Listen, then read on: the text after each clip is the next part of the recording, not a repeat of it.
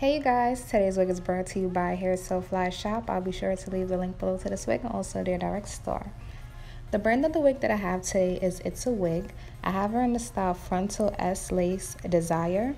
This wig comes with a 13 by 6 lace frontal that's hand tied and this wig is curling iron sleeve up to 400 degrees.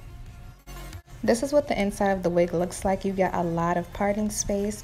Behind the lace front so you get two combs, and then you get another comb in the back with adjustable straps.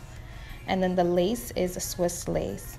As for the hair, the hair is a 613 color and the texture is on the silky side, but it's not too silky like Barbie doll hair.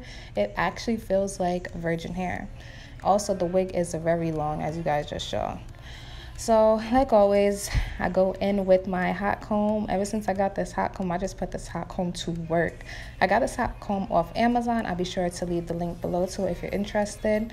And right now I have it on the lowest temperature, which is number five. And I'm just um, flattening out the top. I just want the top to be really, really flat and nice.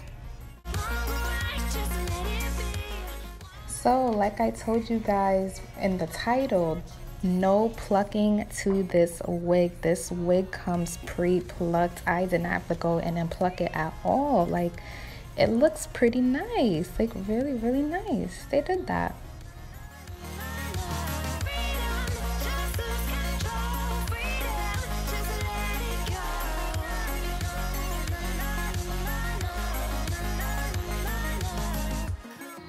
After just going in with my hot comb, this is my end results.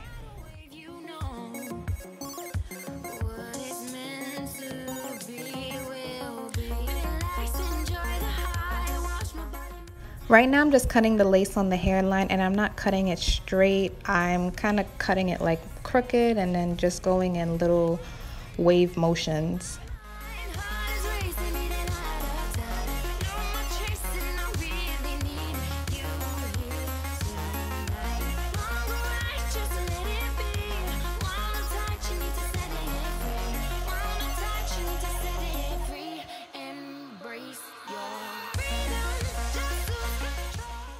Underneath the wig, I didn't put any foundation or any powder at all just because sometimes with like blonde wigs, I notice after I put my powder, like the lace will look kind of orange compared to when I do it on like black hair or like kind of a calm color.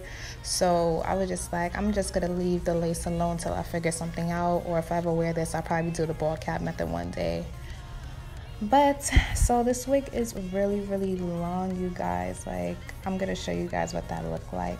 But right now i am just brushing out the hair. And when i first got the wig and i brushed it i did get some snags. I like had to like really snag it out. But then after that I went in with the hot comb for a little bit and then brushed it. And it just looks nice and it's just flowing. The brush is going through it.